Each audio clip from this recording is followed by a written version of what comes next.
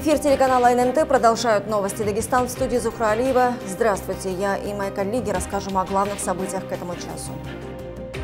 Срочники в пределах страны, а контрактники в зоне СВО. О чем еще говорили на пресс-конференции военкоме мэр Махачкалы, смотрите в выпуске. С вещами на выход все лучшее гостям. Какие плюсы и минусы сулит нам небывалый турпоток в регион, разбирались наши корреспонденты. Викторины, нашиды и угощения. В духовно-просветительском центре состоялся коллективный ифтар представителей лезгинского народа. Бой за миллион долларов. Боец Резван Куниев стартовал с победы в Гран-при с солидным денежным призом. Около 100 социальных объектов начнут строить в 2023 году в Дагестане. Об этом в ходе заседания оперативного штаба заявил председатель правительства Абдулмуслим Абдулмуслимов. В текущем году в рамках нацпроектов образования и демография предусматривается строительство 58 объектов образования, а также 37 объектов в рамках республиканской инвестиционной программы. Также планируется строительство шести объектов здравоохранения за счет средств регионального бюджета. Ни один призывник-срочник в зону СВО отправлен не будет. Об этом и не только рассказали журналистам республиканских СМИ военный комиссар Махачкалы и исполняющий обязанности мэра города. Более 200 молодых дагестанцев в возрасте от 18 до 27 лет в эти дни проходят необходимую медкомиссию.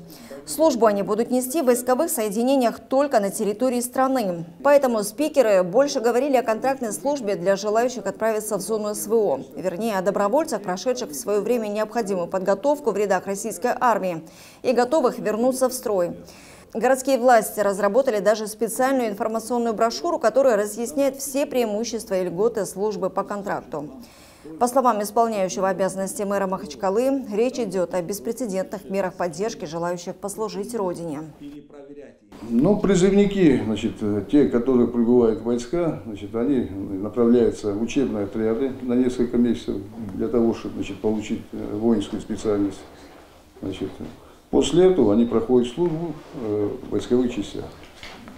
Но еще раз повторяю, в район специальной военной операции эти призывники направляться не будут. Туда направляются только профессионально подготовленные военнослужащие контрактной службы, офицеры и прапорщики.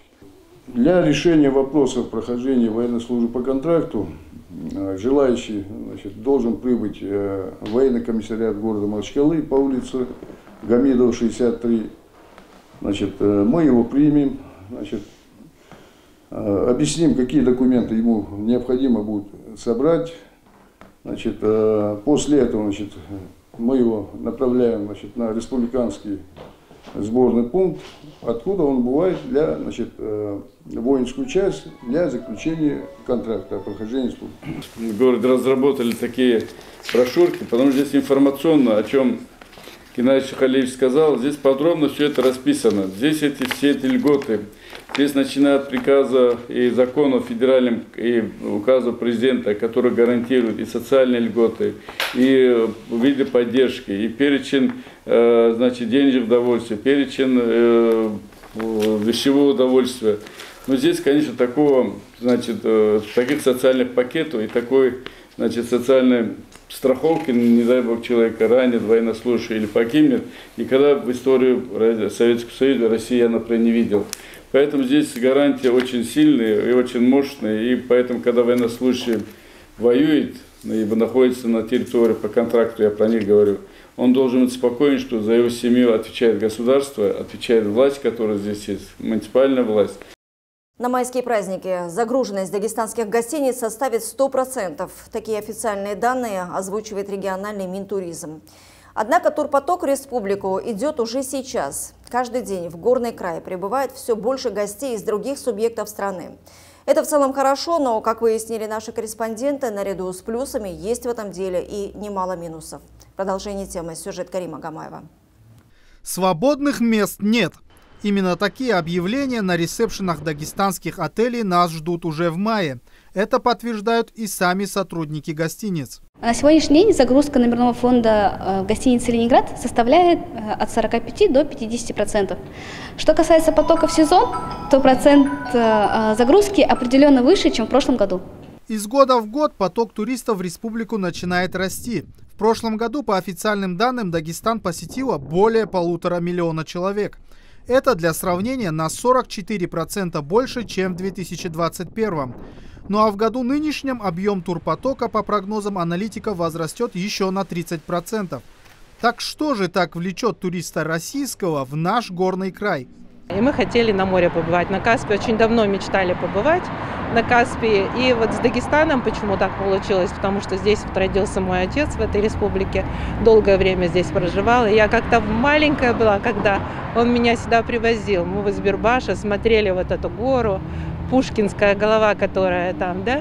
Приехали, ну, в общем, не пожалели. Мы второй день здесь, и нам все нравится. Особенно нравятся люди. Такие люди приветливые, во всем всегда помогут. Вообще давно уже не видели вот мы такого отношения к приезжим. Я уже была в Татарстане, это тоже мусульманский регион, но Дагестан, мне кажется, более самобытный.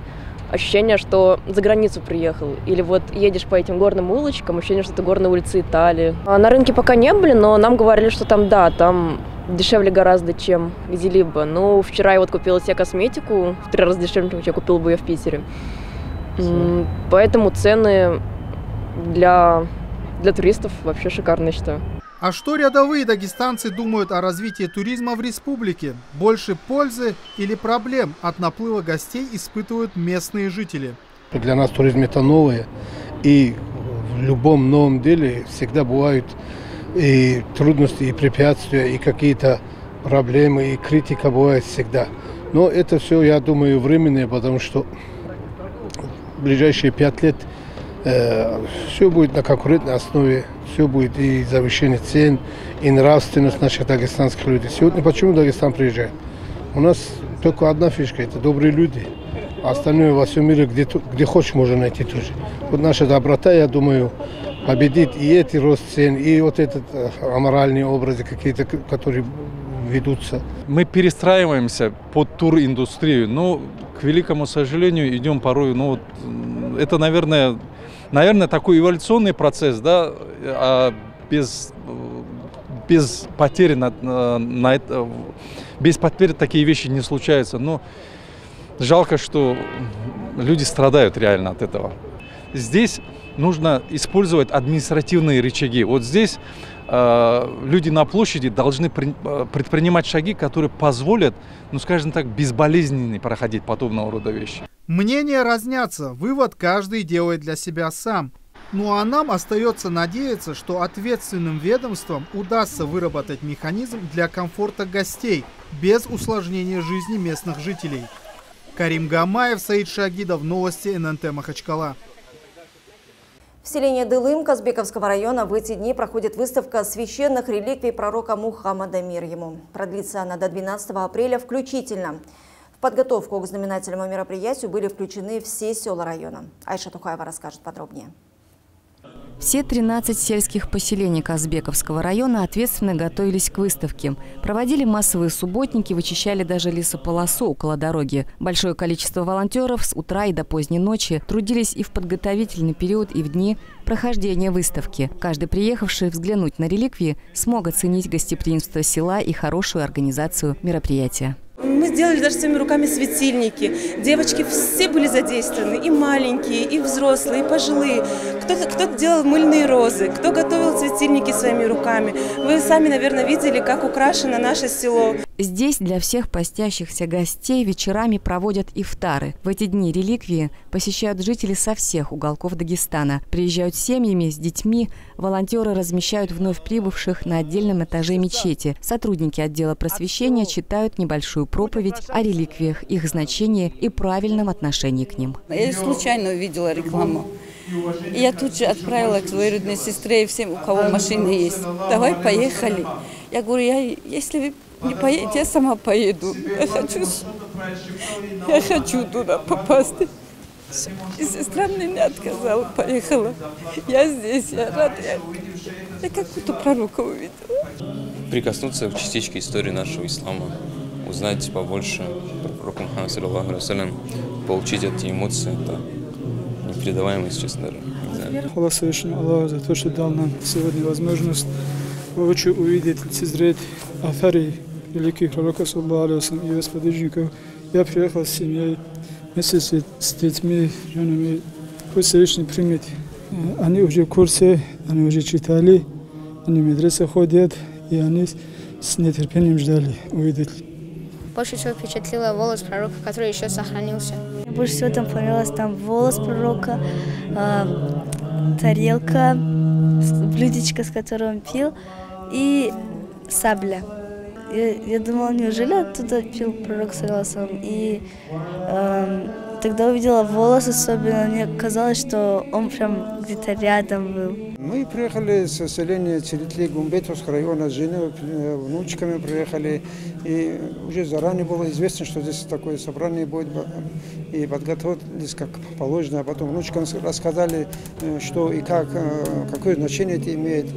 Выставка работает круглосуточно. Посетители прибывают и поздней ночью, и ранним утром. Реликвии будут выставлены в селении Дылым по 12 апреля включительно. Айша Тухаева, Ислам Халиков, Алиасхаб Магомедов. Новости ННТ Дылым, Казбековский район. Более 18 тысяч представителей лезгинского народа приняли участие в коллективном ифтаре.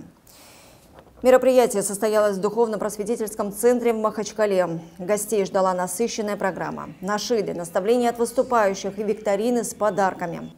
В рамках ифтара состоялся розыгрыш пяти путевок в Малый Хадж Умра и автомобиля «Лада Гранта». Праздничное мероприятие поддержали представители власти, религиозные и общественные деятели. Но сегодня очень рад, что именно здесь, в духовном центре строящемся, собрался э, ифтар лезгинского народа. Даже ведущий сегодня говорит о том, что не ожидали такого количества э, участников ифтара. Хочу поблагодарить нашего муфтия Ахмада Фанди, благодаря которому много и много людей приходит в ислам. И этот центр тоже его идея, народная идея, которая народным способом строится. И все это на благо наших мусульман, всех народов, лезгинские, даргинские, аварские. Это все условно. Мы один народ. Те корни, которые были заложены этим народом, такими людьми, как Мухаммад Араски и остальными, они возродятся, и вера будет крепчать и крепчать в этом краю, иншаллах. Очень рад, что я здесь присутствую. Я рад, конечно, что столько лезгин, столько мусульман собираются в этот мечеть прекрасный. Мусульман Сағвал, жанды, ширин, ерген шадвал, сағвал. Hürmet gerek hatkı ya Allah. Побольше таких дней, я Амин, амин.